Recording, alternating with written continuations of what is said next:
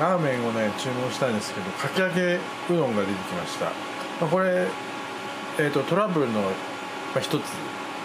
違うものが出てくる。商品に違うものが出てくるということで。まああのー、やめようと。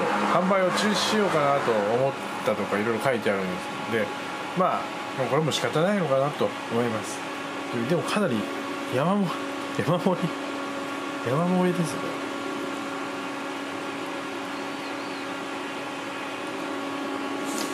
うんうまいうまい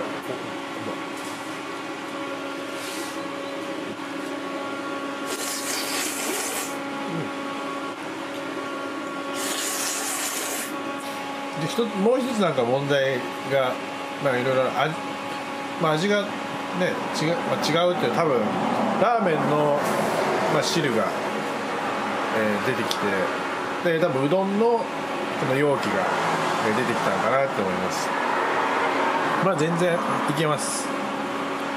胡椒かければもう全然問題ないです。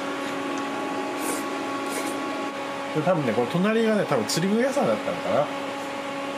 釣りをしながらラーメンあのラーメンとかこのうどんを食べるっていうね感じ。なかなかいいですねこれこう。ここ隣にまあ今動いてないですけどお酒のねあれもあるんで、まあ、ここ朝早くというかもう夜ね深夜ぐらいに来て早朝の釣りに向けてここで酒を飲んで飯を食って寝るというような感じだったのかな。よし。はいよっしゃ。ごちそうさまでした。本当にあのこういう広大な自然の中にあるお店でございました。僕は結構好きですけどね。ぜひ行ってみてください。あのツーリングとか旅の通り道いい場所です。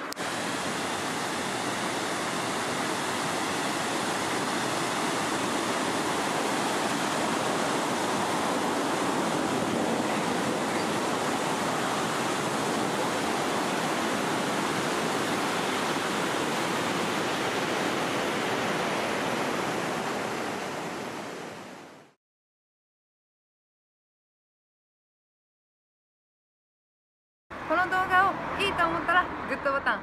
悪いと思ってもグッドボタン。チャンネル登録もよろしく。スピチューブインスタグラム始めました。お得な情報プレゼント企画はこちらから。フォローよろしくお願いします。